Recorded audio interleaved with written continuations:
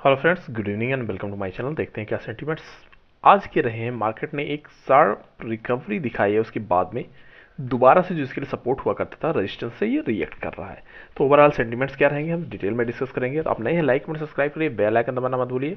साथ में Telegram channel से भी जुड़िए, इसका लिंक आपको डिस्क्रिप्शन बॉक्स में ऑलरेडी मिल जाता है। मॉर्निंग में मैंने आपके लिए कुछ शेयर किया था कि मार्केट में भी हमें टारगेट बहुत छोटे रखने हैं। क्योंकि अभी कुछ क्लियर मूव नहीं दिखाई पड़ रहा अदरवाइज़ आपको लॉसेस हो जाएँगे। तो अब यहाँ पे हम देख लेते हैं क्या कंडीशन उसके बाद बनी है। आप यहाँ पे देख सकते हैं जो मार्केट की ओपनिंग हुई डाउन साइड में होने के बाद में, एक बार दोबारा से डाउन साइड आया, जो हमारा फ़र्स्ट टारगेट था डाउन साइड के लिए सेवेंटी थाउज़ेंड एट हंड्रेड और एट हंड्रेड फिफ्टी के आसपास, उसके आसपास से नीचे गया और लगभग सेवेंटी थाउज़ेंड सिक्स फिफ्टी तक का इसने लो बनाया। उसके बाद में दोबारा से रिकवर होने के बाद में सेवेंटी वन थाउज़ेंड से ऊपर 150 तक का हाई बनाया। तो आप नीचे से और ऊपर दोनों कंडीशन को मैच करते हैं लगभग 400-500 पॉइंट में पूरे दिन ट्रेवल किया है। तो जो यहाँ पे बड़े टारगेट लेके ट्रेड कर रहे हैं उनके लिए थोड़ी प्रॉब्लम होगी। बायस के लिए अभी कंडीशन थोड़ी सी अच्छी नहीं बनती हुई दिखाई पड़ रही जब तक कुछ अच्छा लेवल इसके लिए दिखाई नहीं पड़ता है कि ये ऊपर जाके जो 71,000 या फिर प्रीवियस डे के हाई के ऊपर भी क्लोजिंग करना स्टार्ट करता है तभी हम इसमें नेक्स्ट प्लस साइड का मूव देखने की कोशिश करेंगे। और ओवरऑल जो कंडीशन बनी हुई है, अगर उसको आप देखते हैं तो अभी भी एक रिकवरी होने के बाद में भी दोबारा से डाउन साइड के लिए ही मूव करने की कोशिश कर रहा है। तो ओवरऑल आपको टारगेट छोटे रखने हैं और रिक्स रिवार्ड को मैनेज करने के साथ ही ट्रेड करना है। जो न्यूज़ चलती हुई दिखाई पड़ेगा न्यूज़ बेस की बात कर लेते हैं, सभी की निगाहें पड़ी हुई, कहीं से कुछ ऐसा इनपुट मिल जाए कि आने वाले टाइम में फेड कोई बड़ा एक्शन लेने वाला है, जिससे जो पॉजिटिव न्यूज़ है वो मार्केट में फ्लो हो जाए तो यहाँ पे भी और गोल्ड, सिल्वर के साथ में अदर जो मार्केट है, ट्रेडिंग प्लेटफॉर्म है, सभी जगह आपको मूव देखने को मिल सकता है। सिल्वर माइक्रो, मिनी में लगभग सिमिलर टाइप का पैटर्न बनता हुआ दिखाई पड़ रहा है, वो आप चेक कर सकते हैं। अब यहाँ पे हम देख रहे हैं कि जो फोर हाउस सेटअप का सेंटीमेंट बना हुआ है अगर इस कंडीशन को हम देखते हैं तो यहाँ से एक अच्छा डाउन साइड शॉर्ट कैंडल, ये पॉजिटिव मूव। इसकी क्लोजिंग ऊपर साइड हो सकती है, हो जाती है तो आपको तीन चार सौ पॉइंट का अप साइड मूव मिल जा, मिल जाएगा। लेकिन क्लोजिंग इंपॉर्टेंट है ये कैंडल एक पॉजिटिव बनाने के लिए। तो आपको यहाँ पे वॉच करना होगा। अगर इसको ऊपर जाना है तो इस कैंडल को एक पॉजिटिव कैंडल में कन्वर्ट होना चाहिए, जो इसकी closing seventy one thousand one fifty के ऊपर लेके जाए। तभी इसमें पॉजिटिव मूव आएगा।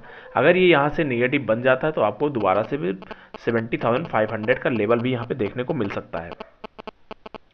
तो आपसे सिंपल सा एक ही लर्निंग रखना है यहाँ पे कि टारगेट छोटे रखने हैं, स्टॉप लॉस को आपको अलर्ट में रख सकते हैं या फिर अपना ट्रेल कर सकते हैं, वो आपके ऊपर डिपेंड करता है। मार्केट में बाइंग साइड की opportunity as per my view फ़िलहाल के लिए अभी बनती हुई नहीं दिखाई पड़ी, जब तक इस कैंडल का ये पॉजिटिव क्लोजिंग नहीं हो जाती है। तो ये पॉजिटिव इंगल्फिंग टाइप का बन जाएगा, आप मॉर्निंग स्टार बोल सकते हैं कि यहाँ से फिर दोबारा से ये लगभग 500 पॉइंट की रैली देखने के लिए रेडी रहेगा। लेकिन अगर ये इसके ऊपर क्लोज नहीं करता है तो आपको ये फिर दोबारा से 70,500 या फिर 400 का लेवल भी ये इंपॉर्टेंट रोल प्ले करने वाला है यहाँ आपको देखना चाहिए। और ओवरऑल आज की क्लोजिंग इंपॉर्टेंट रहेगी इसको नेक्स्ट मूव डिसाइड करने के लिए। पैटर्न काफ़ी अच्छा बनता हुआ दिखाई पड़ रहा है लेकिन इसको क्लोजिंग करना चाहिए तभी इसमें बाइंग साइड के लिए जाना होगा। और टारगेट बहुत ही छोटे रखेंगे तभी आप यहाँ पे सेफ़ और सुरक्षित तरीके से ट्रेड कर सकते हैं। डेली टाइम फ्रेम में अगर फ्रेंड्स हम देखने की कोशिश कर लेते हैं तो यहाँ से डेली कंडीशन जो बनती हुई दिखाई पड़ रही है लो लो का पैटर्न कंटिन्यू जारी है। अब इसका इंपॉर्टेंट तभी आएगा जब ये 150 के ऊपर क्लोजिंग करना स्टार्ट करता है, तभी इसमें कुछ बाइंग साइड के लिए लोग इंटरेस्टेड होंगे। तब तक के लिए इसमें मार्केट में जैसे हाई साइड में आपको कहीं निगेटिव सेंटीमेंट बनता है तो आप जो है सेल साइड की अपॉर्चुनिटी देख सकते हैं। लेकिन बाइंग के लिए, बहुत स्ट्रॉन्ग अमाउंट के लिए अभी फ़िलहाल के लिए कंडीशन नहीं बनती हुई दिखाई पड़ रही है। कुछ चेंज होता है तो आपको यहाँ पे एक जो 130 का लेवल था पॉजिटिव था, अभी वो निगेटिव काम करेगा यहाँ पे। उसके बाद में दोबारा से कुछ नई कंडीशन बनती हुई दिखाई पड़ेंगे।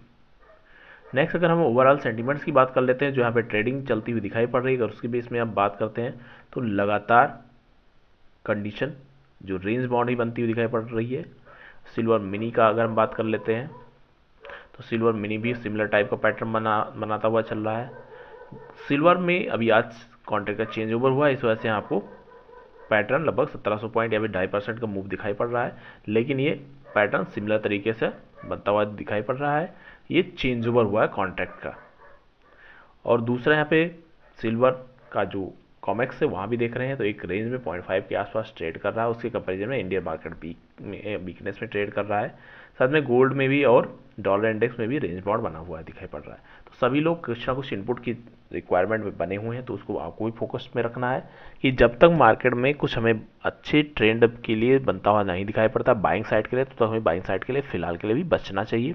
और सेल साइड में भी इतनी बड़ी आपको पोजिशन साइज़ नहीं रखनी है जिससे आपकी लॉसेस बढ़ जाए। थैंक यू फ्रेंड्स लर्निंग करते रहिए, क्योंकि लर्निंग के बाद ही अर्निंग होती है। आप डेली कुछ ना कुछ लर्न करेंगे तो एक दिन अच्छे ट्रेडिंग अपॉर्चुनिटी के साथ में अच्छी अर्निंग भी करने लगे। थैंक यू फ्रेंड्स मिलते हैं नेक्स्ट वीडियो में। Happy trading and happy learning